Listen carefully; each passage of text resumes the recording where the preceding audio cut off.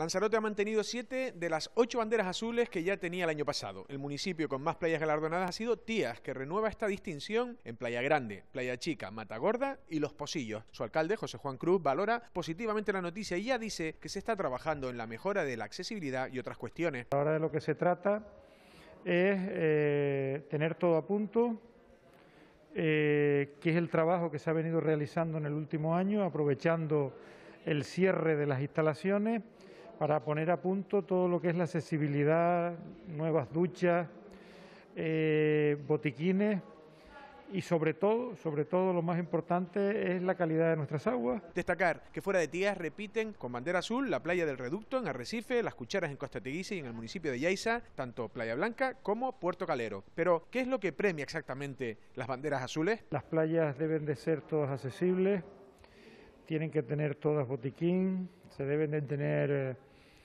servicios, eh, duchas, limpieza eh, tal y como lo establece eh, los criterios de bandera azul en determinadas horas del día, aparcamiento en el entorno y, en definitiva, la, y la calidad de las aguas. Destacar como única playa que no lograba renovar su bandera azul ha sido el caso de la playa del Jablillo en Costa Teguise.